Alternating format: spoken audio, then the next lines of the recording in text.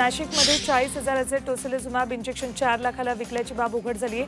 दोन लाख साठ हजाराला सौदा करताना दोन फार्मसी तरुणांना रंगेहात अटक केली आहे. नाशिक पोलिसांनी सापळा रचून त्यांना अटक केली शुभम आणि अक्षय रौंदळ या दोघा भावांना अटक केली तर संकेत सावंत आणि प्रणव शिंदे फरार आहेत. रेशन दुकानदारांनी स्थ- संप स्थगित केला आहे. त्यामुळे पाच दिवसानंतर आज रेशन दुकानं उघडली आहेत. केंद्र आणि राज्य सरकारच्या दोन्ही योजनांमधल्या आर्थिक दुर्बल घटकांमधल्या शिधापत्रिकाधारकांना प्रत्येकी तीन तीन किलो गहू आणि दोन दोन किलो तांदूळ मोफत मिळणार आहे. राज्य सरकारनं रेशन दुकानदारांना कोरोना कालावधीत विमा संरक्षण कवच द्यावं. धान्य वितरित करताना ई पास मशीनवर शिधापत्रिकाधारकांऐवजी रेशन दुकानदाराच्या बोटाचा ठसा घ्यावा यासह विविध मागण्या केल्या होत्या. रुग्णांच्या संख्येत वेगानं वाढ होतीये. दिल्लीत ऑक्सिजनसह हॉस्पिटलमध्ये बेडही मिळत नाहीयेत. आता आयसीयू बेड न मिळाल्यानं एनएसजीच्या अधिकाऱ्याचा कोरोनानं मृत्यू झालाय. बिरेंद्र कुमार झा असं या एनएसजीच्या ग्रुप कमांडरचं नाव आहे. कोणत्याही देशाला संस्थेला कोरोना लसीचं पेटंट देऊ नये या भारत आणि दक्षिण आफ्रिकेच्या मागणीला अमेरिकेनं पाठिंबा दिलाय. पेटंट दिल्यामुळे कोरोनाविरोधातील लढाईला खीळ बसेल अशी भारताची भूमिका आहे. सर्व देशांमध्ये आणि व्यक्- प्रत्येक व्यक्तीला लस मिळावी यासाठी लसीकरण गरजेचं आहे त्यामुळे पेटंट देऊ नये अशी भूमिका वर्ल्ड ट्रेड ऑर्गनायझेशनकडे मांडण्यात आली आहे. कॅनडानं कोरोनावरील फायझरची लस देशातल्या बारा ते पंधरा वयोगटातल्या मुलांना द्यायला परवानगी दिली आहे. ही माहिती कॅनडाच्या वरिष्ठ आरोग्य सल्लागार सुप्रिया शर्मा यांनी दिल्याचं वृत्त रॉयटर या वृत्तसंस्थेनं दिलंय. रूस इंडियाच्या अँटीबॉडी कॉकटेलला कोविड रुग्णांवर आपत्कालीन वापरासाठी परवानगी दिली आहे. डीसीजीआयनं अमेरिका आणि युरोपातल्या डेटाच्या आधारे या कॉकटेलला परवानगी दिली. हे औषध भारतात सिप्ला लिमिटेडसह वितरित केलं जाईल. याचा वापर कोरोनाच्या सौम्य आणि मध्यम गंभीर रुग्णांवर इलाजासाठी केलं जाणार आहे. नियोजनाअभावी बीडमध्ये लसीकरण केंद्रांवर सकाळपासून मोठी गर्दी होती जिल्ह्यात बीड माजलगाव आंबेजोगाई या तीन केंद्रांवर तुफान गर्दी होती लस घेण्याच्या या गर्दीत कुठल्याही केंद्रावर कोरोनाचे नियम पाळले जात नाहीयेत. लसही मिळत नाहीये आणि गर्दीही हटत नाही अशी काहीशी परिस्थिती जिल्ह्यात दिसते केंद्र सरकार सध्या तरी देशात लॉकडाऊन लावण्याच्या मनस्थितीत नाहीये. कोरोना संसर्गाची साखळी तोडण्यासाठी केंद्र सरकारनं राज्यांना मार्गदर्शक सूचना जारी केल्या आहेत पुढच्या काळात आणखी कडक उपाययोजनांची गरज पडली तर त्यावर आधी चर्चा केली जाईल असं नीती आयोगाचे सदस्य डॉक्टर व्ही के पॉल यांनी म्हटलंय. संसर्ग मोठ्या प्रमाणात वाढत असेल तर संसर्गाची साखळी तोडण्यासाठी निर्बंध लावले जाऊ शकतात.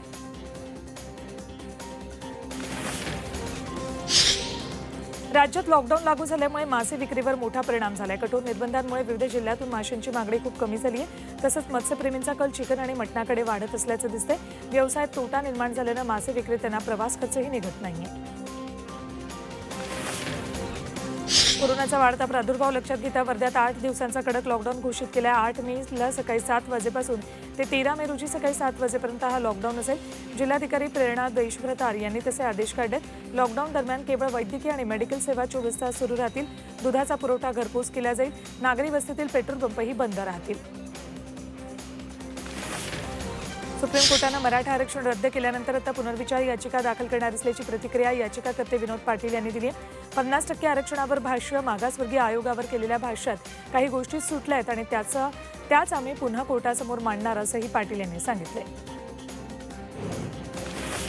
सर्वोच्च न्यायालयानं मराठा आरक्षण रद्द केल्यानं आता प्राध्यापक भरती शिक्षक भरती त्यानंतर महाराष्ट्र लोकसेवा आयोगाची भरती अशा विविध शासकीय पदांच्या भरती प्रक्रियेवर परिणाम होणार आहे. त्यामुळे शासकीय पदभरतीसाठी प्रयत्न करणाऱ्या लाखो उमेदवारांना प्रतीक्षा करावी लागेल.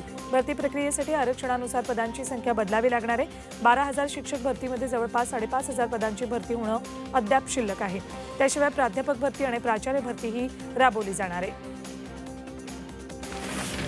माजी गृहमंत्री अनिल देशमुख यांना अंतरिम दिलासा देण्यास मुंबई हायकोर्टानं नकार दिलाय.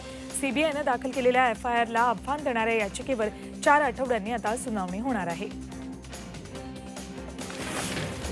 राज्याचे गृहराज्यमंत्री शंभूराज देसाई यांच्या घरासमोर काही अज्ञात व्यक्तींनी शेणाच्या गोवऱ्या पेटवल्यात. सकाळी दहा वाजण्याच्या सुमाराला अज्ञात व्यक्तींनी गाडीतून येऊन या ठिकाणी गोवऱ्या पेटवून फेकून त्या पेटवल्यात. तर राष्ट्रवादीच्या कार्यालयावरही काही अज्ञातांनी दगडफेक केली. शंभूराज देसाईंच्या घरासमोर ची ही दृश्य आहेत. शेतकरी राज्यासाठी खुशखबर आहे. मान्सून यंदा वेळेत दाखल होणार आहे. एक जूनला मान्सूनचं केरळमध्ये आगमन होण्याची शक्यता आहे. दहा जूनपर्यंत मान्सून तळकोकणात दाखल होणार असल्याचा अंदाज हवामान खात्यानं वर्तवलाय.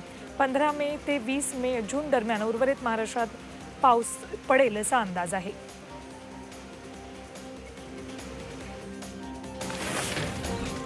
व्यावसायिक एलपीजी सिलेंडरच्या दरात केंद्र सरकारनं कपात केली आहे. व्यावसायिक सिलेंडरच्या दरात तब्बल पंचेचाळीस रुपये पन्नास पैशांनी कपात केली आहे. पण घरगुती गॅस सिलेंडरच्या दरात मात्र कोणतीही कपात केली नाही.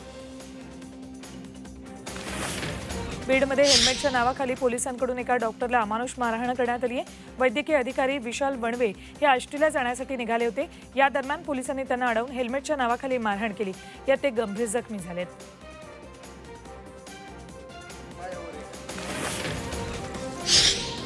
कमी दाबाचे पट्टे आणि हवेच्या चक्रीय स्थितीमुळे राज्याच्या सर्वच भागात आठवडाभर पावसाळी वातावरण कायम राहणार असल्याचा अंदाज हवामान विभागानं वर्तवलाय. काही भागात दुपारपर्यंत आकाश आणि त्यानंतर अंशतः ढगाळ स्थिती राहणार. त्यामुळे दिवसाच्या कमाल तापमानात या कालावधीत काही प्रमाणात वाढ होऊ शकते. दक्षिणेपासून मध्य प्रदेशच्या दरम्यान कमी दाबाचे पट्टे निर्माण होऊन त्याचप्रमाणे हवेच्या चक्रीय स्थितीचा परिणाम म्हणून गेल्या आठवड्यापासून राज्यात पावसाचं सावट आहे. विरारमध्ये दोन कुटुंबातल्या सदस्यांमध्ये तुंबळ हाणामारी झाली. विरार पश्चिमेकडच्या गावठाण परिसरात हाजी युसुफ चाळीत राहणाऱ्या गावडे आणि सेलिया कुटुंबियांमध्ये चाळीतल्या जागेवरून जुना वाद होता. दोन दिवसांपूर्वी झालेलं भांडण इतकं विकोपाला गेलं की दोन्ही कुटुंबातल्या महिला आणि पुरुषांनी एकमेकांच्या अंगावर दगडफेक केली. एकमेकांना लाकडी दांडक्यांनी मारहाण केली. तुंबळ हाणामारीचा व्हिडिओ परिसरातल्या नागरिकांनी मोबाईलमध्ये चित्रित केला. या प्रकरणी विरार पोलीस पुढचा तपास करत आहेत.